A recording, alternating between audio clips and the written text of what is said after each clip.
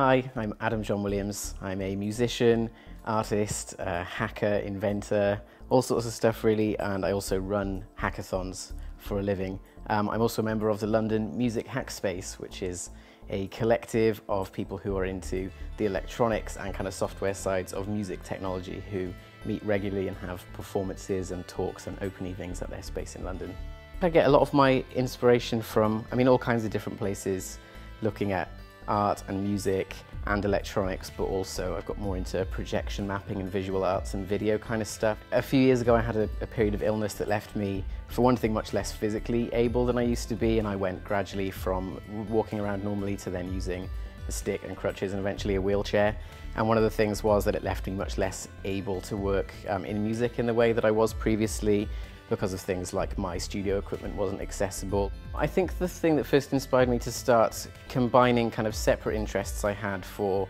electronics and music especially um,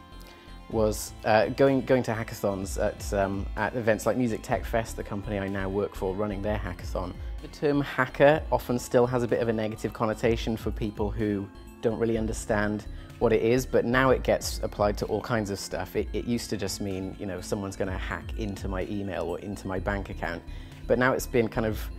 reappropriated to adding functionality to something or using anything in the way it was never originally intended. So Farnell Element 14 has supported me by providing equipment to use in projects that I'm now making for my new YouTube show. So I'll be using the kind of things that they sell to create projects that people can follow along with at home. What led me to the Element 14 community was the Ben Heck Show, and that was where I found other people doing the same kind of stuff as me, producing projects and kind of documenting.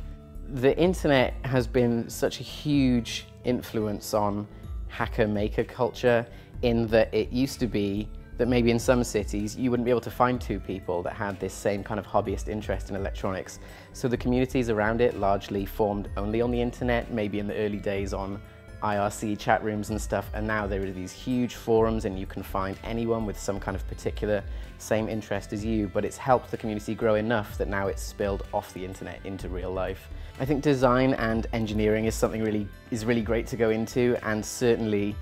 we need people, we need creative and passionate people to take this up and get more involved and there are only ever going to be more jobs in tech in the future because of the changes that are happening.